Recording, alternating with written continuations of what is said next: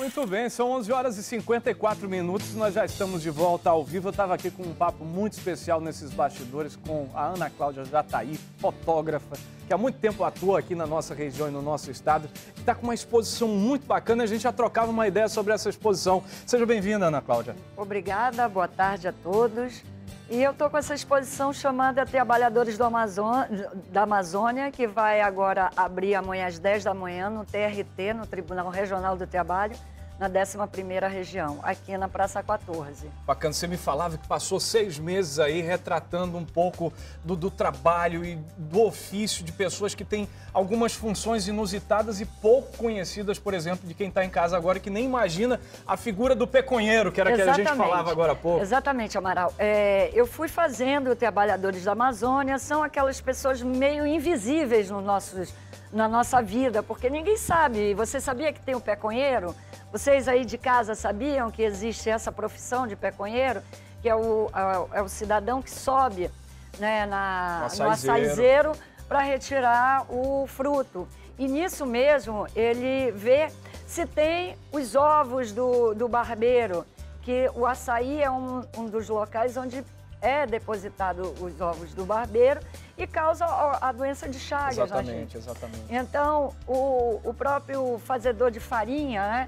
Que é muito interessante. Você não vê, você não sabe como é que é. é a farinha não é, precisa... Pro... não é olha produzida só, aqui, no... aqui, a gente já tem uma das fotos aqui da Ana Cláudia, olha. Aí, Esse ó, aí é o, é, é o, caboclo, é o caboclo que faz a peconha, sobe no açaizeiro, passa de um para outro, desce com dois, às vezes quatro cachos e que tem nesse ofício uma especialidade que é verificar se o cacho está contaminado ou não. Muito comum aqui na nossa região, em Codajás, em Atalaia do Norte, lá na fronteira Exatamente. do Brasil com o Peru, por exemplo. Está aqui pertinho em Codajás, aqui no Médio Solimões, e que pouca gente conhece. Exatamente. Você que, aliás, Ana Cláudia, é bacana a gente mostrar isso aqui. Olha, você que está na sua academia, acompanhando agora nesse momento, que vai tomar daqui a pouco aquele açaí. Meu amigo, tudo começa aqui, olha, no é, meio da floresta, exatamente. a Ana Cláudia retratou esse momento. Muito legal, isso, né, Ana? Isso, isso. Então, aí temos também o, o distrito, né? Essa do distrito, eu usei uma foto bem antiga. Aqui, ó, o pessoal... Está consertando a rede. É, ele está fazendo uma rede, na verdade, né? São aqueles trabalhadores que você não vê, você só vê a rede pronta. Você não sabe de onde vai. Olha, tá lá você na... só come na, o peixe, né? Só come o peixe, né, com a farinha. Esse trabalhador do distrito, isso aí é uma foto é, dos anos 90. Legal. Olha só, é muito antiga. Esse sim eu peguei antigo. Agora, o resto todo foi um trabalho que eu fui é, fazendo ao longo desses seis meses. Fez um resgate essa, do distrito é única, industrial, é, né? Isso. Olha que foto legal. É, são os trabalhadores que estão aí, que é, é, volta a falar, são os trabalhadores invisíveis. Você compra, mas não vê. Você utiliza, mas Essa não aqui sabe foi em como sai. É. Essa foto foi em Iranduba. É. Hoje, no... nas, nas olarias certificadas, né? Legal. Porque hoje as olarias mudaram, não existe mais aquele forno assim que é insalubre para o, para o cidadão, né? É, já tem, já tem forno, inclusive a gás natural. É, né? exatamente. Esse aí é, o, é, a figura do seringueiro, né? daquele que conhece e trata ali trata por nome. Você sabia que meu avô tratava a, a seringueira pelo nome, é, no né? seringal da Tatajuba. É muito legal essa relação do homem com o ofício. E aqui é, é, uma figura interessante, Muito né? interessante. E o Nunes Filho ali em cima. Então, Eita, você vai passando e vendo o cotidiano desses trabalhadores, sabe? Que não tem, muitas vezes, é, um, um salário fixo, né? É aquele que está matando todo dia um leão. E são esses trabalhadores que eu quero mostrar. Não é? Nessa no, exposição. Nesse, nesse nosso trabalho. Muito bacana. São 20 fotografias, é isso? Exatamente, são 20 fotografias que vão ficar lá até o dia 30 de dezembro, né, no, no hall do, do Tribunal Regional do Trabalho, aqui na Praça 14, que vale a pena ser visto, vale a pena o, a, as pessoas, a, a a nossa, a nossa sociedade dar uma olhada, porque às vezes você passa e nunca vê. Olha, eu vou te falar uma coisa, é, eu acho muito interessante, no momento em que o fotógrafo capta é, esse, esses momentos, eterniza, ainda mais em se tratando de um ofício, né? Acaba que isso aqui é uma rotina para quem, uhum. quem realiza. Só que para quem não está em contato com essa realidade, é uma oportunidade de conhecer, é uma oportunidade de entender. E, até porque o momento está eternizado, como por exemplo esse cacho de Esse banana pacovan é um balé, né? voando ali. Isso né? aqui não é um balé, olha. É. Olha, a própria postura do, do cidadão é um balé. Feira Então, da Banana, Manaus Moderna, lá vai Exatamente. voando ali o cacho de banana pacovan, que delícia uma Uma pacovan. delícia, né? Ela fritinha. Hum, Muito bom. Olha, Ana, te agradeço aqui a participação no programa. Convido você de casa a participar dessa exposição Homem Amazônico e Mostra Fotográfica no Centro de Memória da Justiça, lá do Trabalho, que começa a partir de amanhã. Exatamente, às 10 Legal. da manhã. Estão convidados a todos a irem lá ver um pouquinho dessa nossa realidade. Meu amigo, é de 8h30 às 14h30. A entrada é de graça. Participe, prestigie o trabalho dessa grande fotógrafa que já há 20 anos atua nessa profissão aqui na, nosso, na nossa região amazônica. Ana, prazer Obrigada. recebê-la aqui. um bom Obrigado. dia para vocês Sucesso e na exposição. Boas tá bom, fotos. Tá bom, obrigada. Você de casa, vem comigo. Meio-dia em ponto, uma boa tarde. Está chegando agora. Este é o programa da comunidade, sempre ao vivo para você que nos acompanha em Tefé, Parintins, Itacoatiara. Para você que está acostumado a ver essa cena, por exemplo, do canoeiro mandando ver ali, olha. Canoeiro mandando ver no finzinho de tarde. Que delícia. Olha, diretor, deu vontade desse rio agora. Vou lhe falar uma coisa. Como eu gosto desse rio, olha. Pense numa coisa que eu acho que a gente podia fazer, di- diretor, eu acho que a gente podia fazer o programa agora, o programa da comunidade, de uma balsa, de um flutuante, para vez ou outra, assim, sabe, nos intervalos, eu dar aquele tibum, que ô coisa boa é a nossa região, eu sou um apaixonado, é brincadeira, olha. 12 e 1, diretor comprou a ideia, vamos fazer o agora do flutuante, diretor? Tá valendo o desafio? Muito bom, tá feito então. 12 e 1, Marcelo Asmar vem aí trazendo uma dica pra você de casa. Solta a massinha, diretor. Olha só, Amaral, olha só você que está em casa. Varicel é o tratamento mais indicado para as varizes e hemorroidas. Dá uma olhadinha aí nesse depoimento. Eu trabalhava muito sentada, trabalhava em sala de audiência. E às, às vezes a audiência é muito demorada. Como eu sofria de varizes, eu sentia muitas dores nas pernas. Na hora de levantar era aquele peso. Eu tinha visto a propaganda do, do varicel na TV. Resolvi tomar. E não é que melhorou mesmo. Eh, As dores sanaram, voltei à minha atividade normal e hoje sou outra pessoa. Viu só? Varicel funciona mesmo. Varicel comprimidos associado ao varicel gel melhora a circulação, acabando com as dores, sensação de peso, cansaço inchaço nas pernas provocados pelas varizes. Varicel comprimidos também combate as dores, inflamações e desconfortos causados pelas hemorroidas. Varicel você encontra em todas as farmácias do Brasil e a preços promocionais das redes de farmácias Angélica e Farmabem. Eu disse Angélica e Farmabem. Varicel tem a garantia de qualidade de Vicom Farma. Não aceite outro. Volto com você, Amaral. Obrigado, Marcelo Asmar. Meio-dia e dois minutos. Está na hora de voltarmos a falar ao vivo com a Tatiana Sobreira, que fala direto do Emoan, da sala de doação de sangue especificamente. Não é isso, Tatiana? Isso, Amaral, mas antes de nós chegarmos a essa sala de doação, aqui nessa entrada, aqui, logo que você chega no Emoan, para você que quer doar sangue, você passa por esse processo. Aqui, lá no início, é onde as pessoas entram, fazem uma espécie de triagem e de lá elas esperam para ser atendidas nesse guichê, onde serão orientadas até a sala onde farão. Primeiro serão selecionadas se podem ou não doar o sangue. Chegando lá é que vem o processo onde aqui abastece não somente mais de 2 mil litros de sangue, saem daqui desse local, 2 mil pessoas são diariamente atendidas em média aqui. Segundo informações até da própria assessoria, ela diz que o movimento hoje está um pouco fraco, mas esses corredores aqui, também esses bancos de espera, ficam lotados diariamente. Hoje se comemora o dia da doação de sangue, que vai até o dia 29, onde o Hemon está fazendo esse evento. Mas aqui também abastece não somente os hospitais daqui de Manaus, mas abastece todos os hospitais também de municípios adjacentes, como é o caso de Manacapuru. O Emoan, onde nossa gente precisa estar aqui, onde eles precisam, onde é o hemorrede daqui do estado do Amazonas. Vamos entrar, mas quem vai nos conduzir é a nossa mestre, né? Zeila, Você é que faz essa captação de doadores, né? Aqui nesse exato momento a gente já vê aqui que está tudo enfeitado, que vocês fizeram uma preparação para receber todas as pessoas, para chegar também até a sala de doadores, né? Correto, é. Então a primeira identificação do candidato para doação de sangue, aqui ele passa pela entrevista. No momento em que ele é considerado um doador apto, ou seja, em condições de doar sangue, ele já é autorizado para continuar a caminhada dele.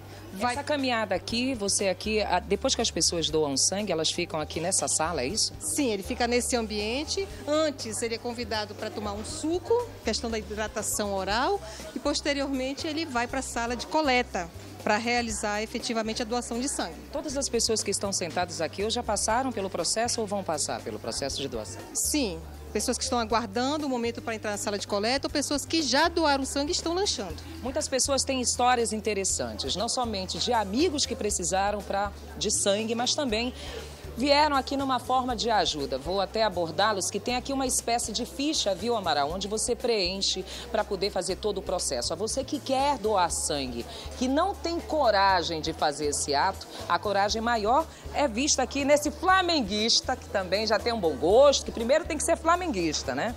Não tem que ser flamenguista? Com certeza, tem o principal. E todos os outros times, que é o time da ajuda, né? Por que, que você veio doar sangue? Ah, porque eu acho necessário, né? Principalmente pelo fato do meu sangue, né, ser o O negativo, é o que mais necessita, né?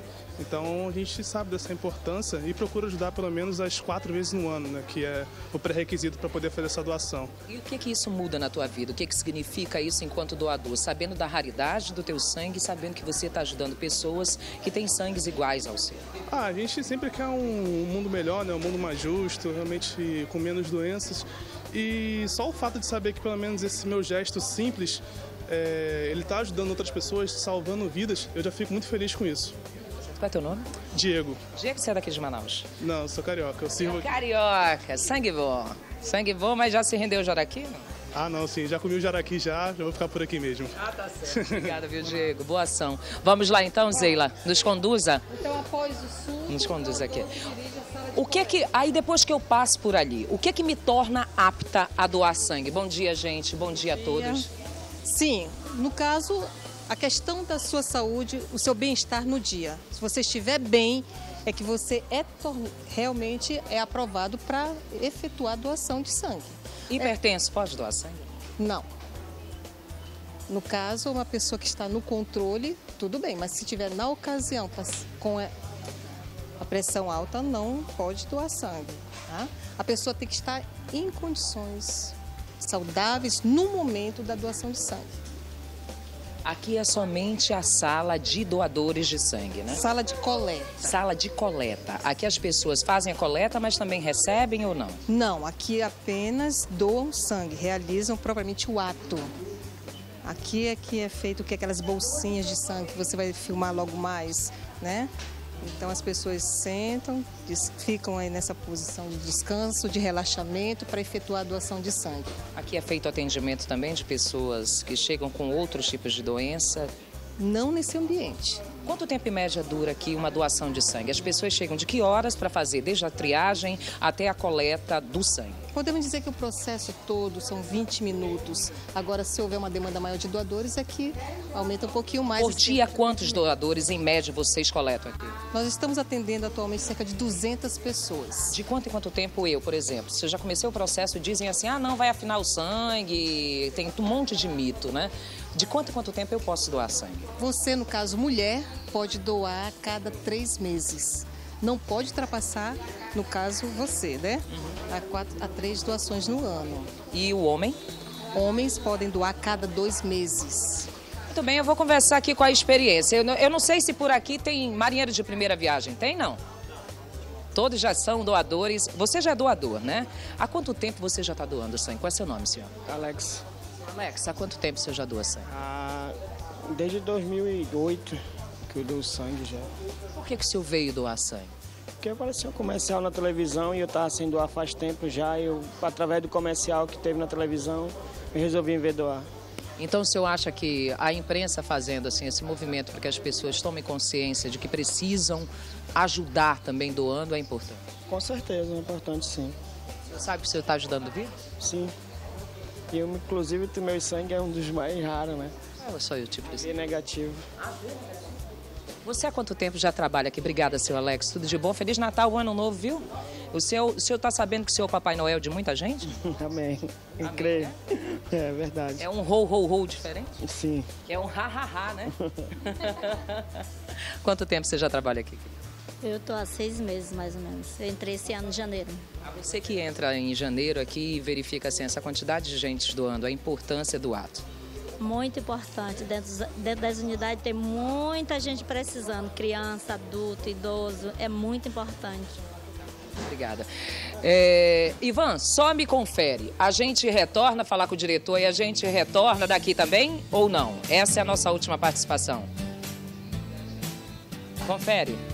Retorno? Então vamos fazer assim, daqui a pouquinho eu retorno deixa- daqui para falar para você qual o procedimento normal que você tem que ter a coragem de doar. Quais são os mitos que tem que ser derrubado em fazer uma boa ação? Doe sangue? Não dói nada. É só uma picada. E essa picada salva milhares de vidas. Daqui a pouquinho eu retorno, Amaral. É Daqui a contigo pouco a daí gente dos se fala, Tatiana Sobreira, de novo, para você se despedir. Gostaria que você perguntasse ao Sidomi. Calma aí, Tatiana, calma aí. Pergunta do Sidomi. Tô aqui, tô aqui, Pergunta tô do aqui. Sidomi se ele Tô encontrou aqui. o Natan Balieiro, nosso colega de, de- de profissão por aí. Pergunta dele se ele encontrou o Natan. Ah, o, o Sidomi, chega aqui comigo, bem pertinho. O Amaral tá pedindo. Ele quer saber se você encontrou nosso colega Natan Balheiro por aqui. Ele, ele tá, tá gaguejando aqui, Ficou Amaral. nervoso, Tatiana. Nada a ver. Respondeu que... Ficou nervoso, Tatiana Sobreira. Depois a Contra- gente se ficou- fala. Sim ou não, Sidomi? Não, ó. Não, ó.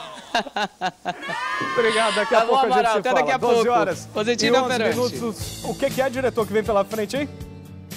Me dá as imagens na tela aí. Coloca aqui nesse, desse lado. Vem comigo aqui, Belchior. São 12 e 11. Boa tarde para você. Infelizmente, a gente vai ter que mostrar imagens como essa aqui, que mostram a violência de um assaltante em um mercadinho no Santa Luzia, zona sul da capital. Observe a rapidez com que eles agem. Chegam ao caixa e, de maneira violenta, rendem o proprietário ali do mercadinho com uma arma e rapidamente recolhem a renda do mercadinho. Essas são imagens de uma câmera de segurança que foram cedidas ao programa Agora, o programa da comunidade, e mostram a rapidez com que uma dupla de assaltantes age e rapidamente levam a renda de um trabalhador amazonense que ali no mercadinho estava. Olha só, entra uma compradora, ele está aqui, olha, e muito rápido ele chega. Tem áudio, inclusive, né, diretor? Bem novinho aí. Volta, volta um pouquinho a imagem aí, Cristiano Loureiro. Um pouquinho. Mercadinho da Alvorada, o cara deu de logo, né? Ah, é o áudio de quem filmou lá pra gente, não é? Não é o áudio do momento da ação, mas você observa que é uma dupla, são jovens, são dois jovens. A gente acredita que inclusive nem devam ter aí 18 anos, mas são rápidos, não têm medo, chegam lá armados e muito rapidamente recolhem toda a renda desse mercadinho ali no Santa Luzia, zona sul da capital. Espero que a polícia já esteja no encalço deles, porque ou maior ou menor de idade tem que pagar pelo crime. Se for menor, vai cumprir medida socioeducativa. E se for maior, vai responder por roubo majorado, porque tem uma arma ali na mão, olha. Aliás, dá nem pra saber se é uma arma de, de verdade ou de brinquedo. Ele esconde a arma, mas logo que chega dá pra perceber, ó, como se fosse uma pistola. Tá na mão, ele age com violência com o proprietário, reage ali rapidamente, olha, mostra que está armado e logo depois, muito rapidamente, recolhe todo o dinheiro do caixa.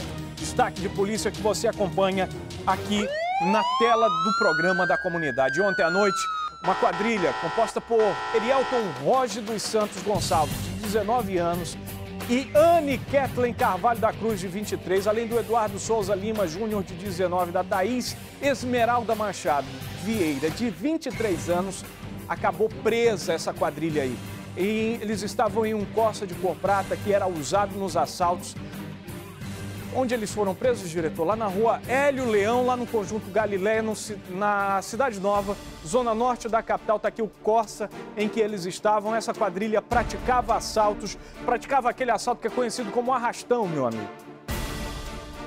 O último foi a um mercadinho, eles não tiveram sucesso, acabaram presos, foram encaminhados para o 6 Distrito Integrado de Polícia aliás, para o 15º Distrito Integrado de Polícia que fica lá no Nova Cidade e com eles foram encontrados diversos aparelhos celulares, né, uma série de... uma arma de fogo, como a gente observa ali né, na, na imagem. Volta aí essa imagem, Cristiano, rapidamente, só para eu ter noção aqui do que foi apreendido ali com eles, né? Uma arma de fogo ali, possivelmente um revólver calibre 32, né? 38, é, diretor? Um revólver calibre 38, observe, né? Duas mulheres, dois casais, para ser mais claro, praticando arrastão, só que em um desses arrastões aí, a um mercadinho, acabou, acabou que não deu certo a ação deles. As vítimas os reconheceram e eles vão responder agora por roubo majorado, vão ser encaminhados à cadeia pública de Manaus, onde vão aguardar o julgamento.